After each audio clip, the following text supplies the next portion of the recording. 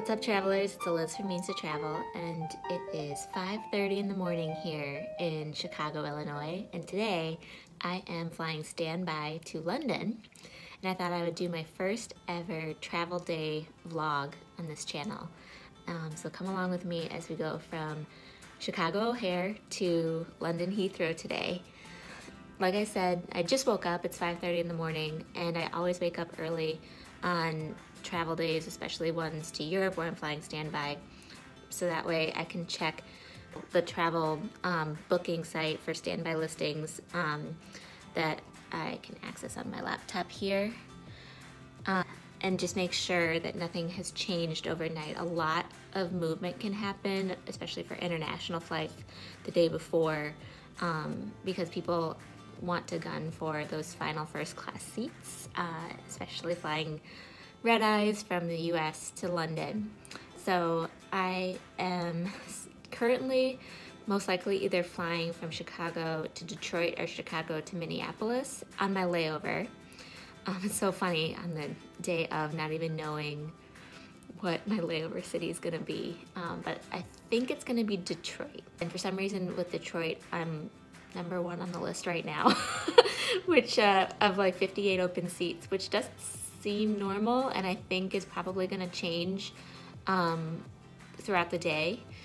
Uh, but with 58 open seats, I'm not super nervous as long as nothing else cancels. Um, again, flying standby, there's so much uncertainty that uh, I get a little anxious on days like this. We'll see. I think everything will be fine today. And so on my flight from Chicago to Detroit, um, I decided to move my flight up. I was originally going to leave at 12:40 p.m.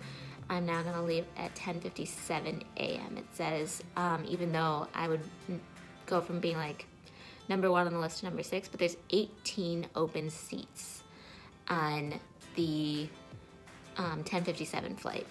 And I would definitely land in time in order to make my evening uh, departure flight from Detroit to Heathrow and then um, I would most likely um, have two or maybe even three backup flights um, after that to make sure that I could definitely get there if something happened to that 1057 flight, which I always like to have at least one other flight um, within my layover, have longer layovers um, to avoid any risk of anything happening. So come along with me today as I do my, again, first travel vlog all the way from Chicago to London with a layover flying standby. Um, and uh, fingers crossed we get there together. All right, I'll keep you posted. Bye for now.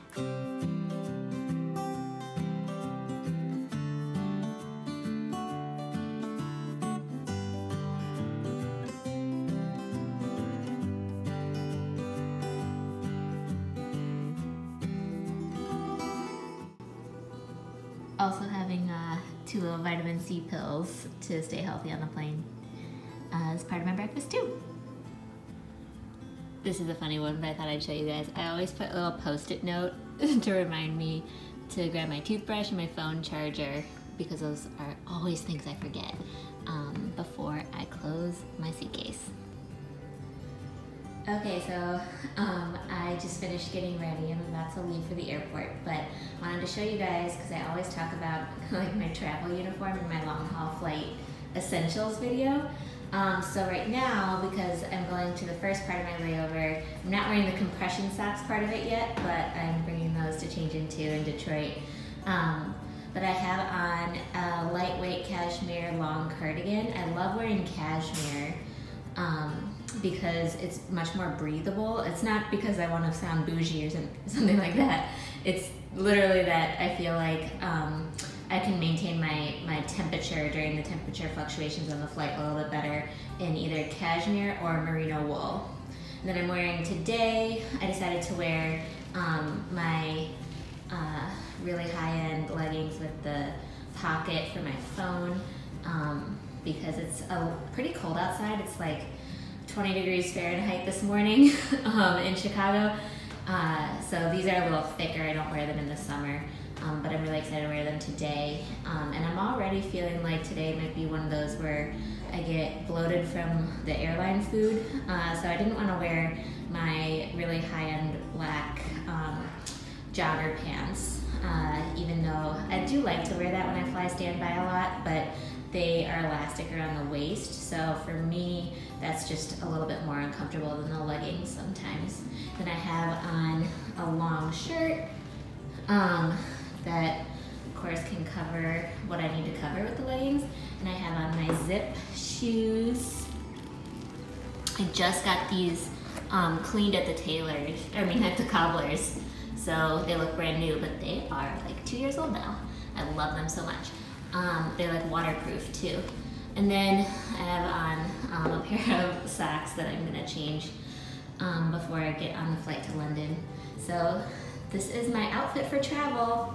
Again, travel uniform basically. Um, it only changes up a little bit each time. All right, here I go. Oh, and I've also already done my skincare. Um, so that's why I'm probably looking a little glowy right now.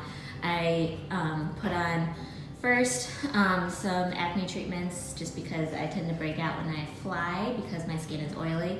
And then I put on a lotion with hyaluronic acid that's awesome for moisturizing. Plus, um, it also has SPF 30 in it. It's from CeraVe. So I'll probably, right before I get on the flight, redo all that um, just because it's gonna be such a long day. All right. Okay, this time for real. I'll see you guys soon. Bye. All right, so it is time for me to head to the airport. Um, Derek and I are both going to London today, but are we're on different flights, even though our flights land at the exact same time. Yep, I'm traveling for work, so um, I, I have the benefit of a direct flight, whereas you know Eliz is joining me, so she'll be doing a connection through Detroit. Yeah, well, hopefully through Detroit. Well, hopefully. Um, so basically, uh, it's because through work he flies a different airline than I am able to fly standby on. So um, yeah, they literally land at the exact same time though at Heathrow, and then we'll just have to find each other. That should be fun. So he I is. hope your Wi-Fi works. I hope so too. I hear they have Wi-Fi in London. Um, so Derek's wearing his travel outfit today too. Lots of layers, yes. So I, I like layers when I travel because you can always take stuff off. You can't always put it back on. Yeah, I don't know. I mean, whatever. you can't you can't like sew a sweater together. I guess Can't- on you the can't plane. sew a square on the plane. I think that's where you're Um, going with that. yeah, something like that. I'm, I'm tired. I haven't had coffee yet today. He and he might not because uh, our flights leave at like Five. p.m. five or six Yeah. p.m. and we it's a red eye and then so uh, Yeah, we're both like no more coffee the rest of the day. Um, excited to uh, get going though, so I got to head to the airport. He doesn't have to go to the airport for another like five hours because Nope. of my layover sitch. Just work. Um, so one thing that people kind of forget about sometimes, and I do a lot, is um, the little things that'll make your trip a lot easier. So batteries for me is a big one. So I like noise canceling headphones on flights, and because of that, I'm always you know running out of juice midway through, especially long haul flights. Um, so I recommend like stopping at a CVS, Walgreens, whatever, and picking up some fresh batteries before you go on a big trip because nothing's worse than having these like nice over the ear headphones and then not being able to use them because your batteries died. Yeah. Um, and we're also, this is like so much less cool, but we're running the dishwasher, taking out the garbage, um, doing all these last minute things around the house right now. Um, and I It's just made the bed. Know, it's wintertime in Chicago, so making sure that everything you know stays nice and toasty warm while we're gone because it's gonna dip down into the teens. We do have a smart thermostat, so we are setting that to eco mode and turning on our security system. So uh, there's just this big checklist. Maybe I'll make another video sometime about what to do right before a trip, Yeah. so that way you don't come back to like stinky broken gar- pipes. stinky garbage, Yeah. broken pipes. All right. Um, so on that note, uh, I'll take you guys with me to the airport now. All right, see you in London. Bye, babe. Bye. So this is my stuff. I'm like super out of breath and it's freezing. I just carried my stuff up like three flights of stairs to the L train. But uh, I'm ready to get on when it comes.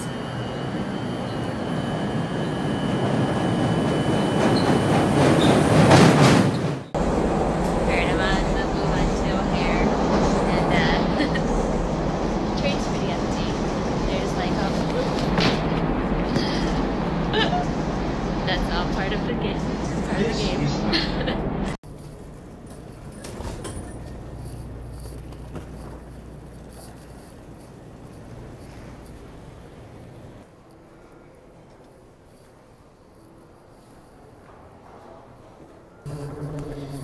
Okay, you guys, I just got off the subway at O'Hare and I am on the moving walkway. That's what this sound is, heading into Terminal 2. And um, I am about to check in, but my check in process is a little bit different. Um, and I don't know if I'm going to be able to film there, so I thought I would just explain it. So I go to the kiosk and I do have a reservation like code, um, confirmation number sort of thing.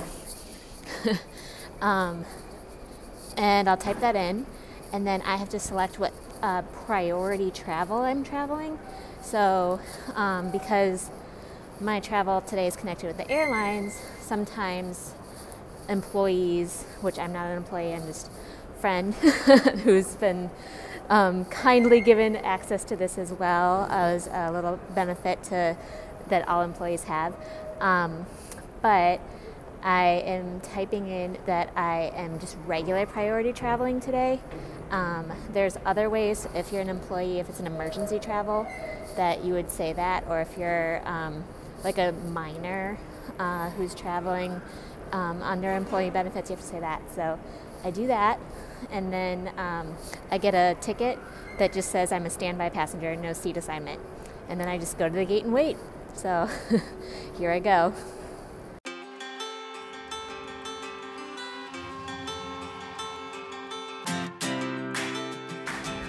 So like I said in my long haul flights video, I always try to bring a water bottle, fill it up here I get.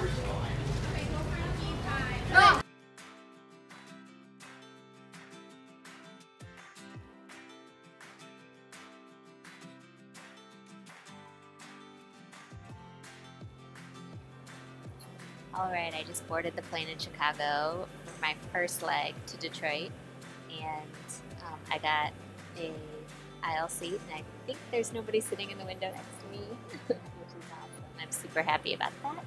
I can hopefully take some good pictures um, during takeoff and stuff. Um, I do have a pretty long layover in Detroit. The London flight's still looking good um, for me to get there today.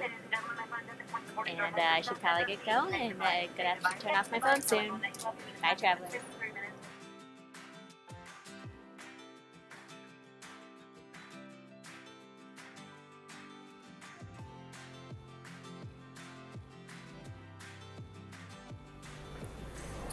Hey everyone, so I am sitting in the lounge at Detroit right now, and I uh, have about three and a half hours till my flight, and I've been checking the numbers.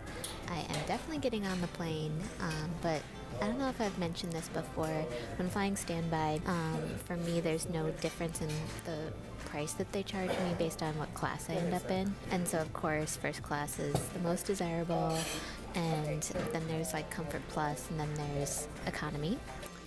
And a lot of people kind of play this funny, like prioritizing check-in game um, in order to make sure that they can get in first class if there's an opportunity. So right now I am last in line on the first class list. Obviously I'm just really happy to be getting over to London, but it's always so um, interesting to track and see what everybody does these last few hours before the flight. So wish me luck. But uh, the way that my friend who works at Delta put it, um, when I told him the numbers, is he said, assume you're in economy, and if you are in a different class, then uh, definitely get yourself a drink.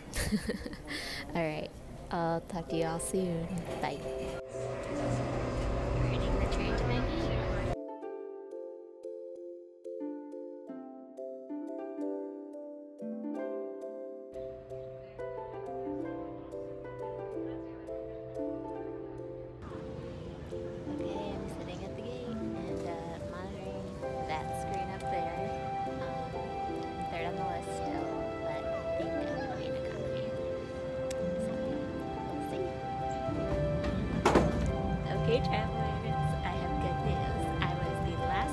Plane to get Delta One.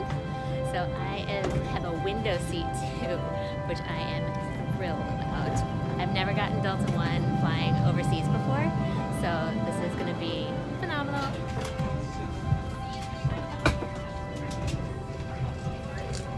Okay, travelers, I just settled into my window seat in Delta One heading to London.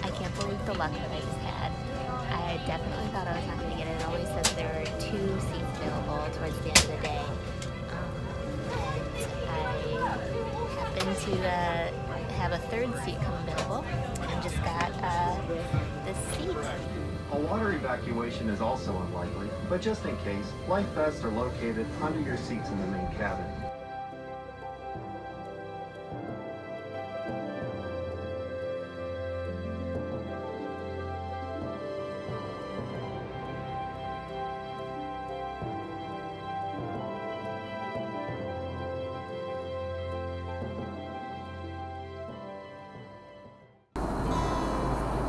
Checking in. So we're about an hour from landing, maybe less now. And woke up, ate breakfast. I already had a cup of coffee, but I am going to, I think, drink one more because I did not sleep very well at all on this flight. It was really short and definitely turbulent a little bit over the Atlantic. So I just never felt like I really fell asleep. But I just wiped my face with my face wipes, the number seven face wipes that I brought on the plane. Um, I didn't do a face mask. I don't really feel comfortable with. There's just not a lot of privacy right now. Um, and now I'm just going to refresh all of my like face lotions, face creams, and kind of drink a lot of water and just wake myself up um, s- to start the day in London because it's you know I think about 6 a.m. right now in London. I don't know if I'll be able to check into the hotel right away, so um, I'm going to drink this coffee.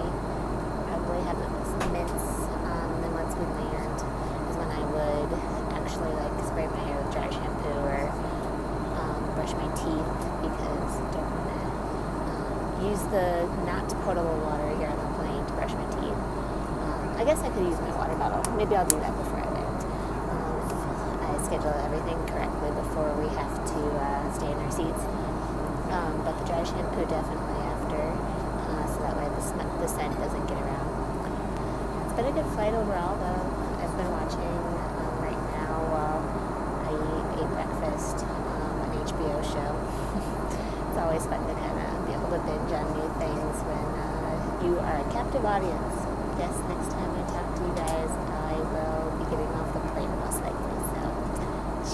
Good morning, travelers from Balliol, England. I am fueled right now by two cups of coffee from the plane, and I am in Terminal 5 in Heathrow. I landed at Terminal am meeting Derek at Terminal 5 so we can Uber together into the city to get to our hotel. Um, but it was a much longer transfer than I thought. I had to jump on the Heathrow Express behind me. Um, so it's probably taken about like I don't know. After I went through customs, so we landed. There was an issue with the jet bridge, so we didn't get off the plane right away. Um, and then, thankfully, I had a fast track ticket um, from getting first class, uh, which was really awesome. I've never had amazing.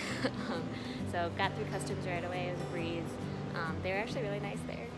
Um, super nice to me. And uh, then I figured out how to get to the transfer area, get on the Heathrow Express. Um, it's a free transfer within terminals.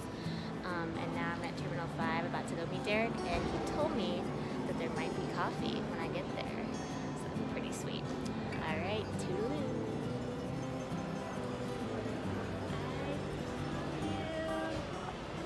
live here wall. now. You look like you live here. So I was told there would be coffee for me. Oh, you're drinking my coffee. I'm drinking our coffee. That's silly. How was your flight? It's not the right time for a flight. it's really not the right time.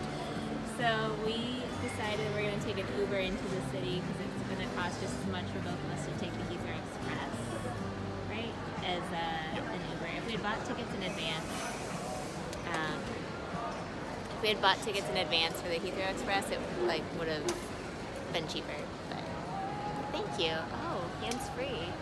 I haven't been hands free all day with this. all right, so cheers, everyone. Gonna go grab our Uber.